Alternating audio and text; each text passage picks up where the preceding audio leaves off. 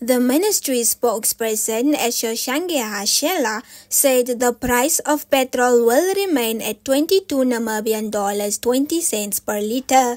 Diesel 50 parts per million remains at 21 Namibian dollars 57 cents, while diesel 10 parts per million remains at 21 Namibian dollars 67 cents.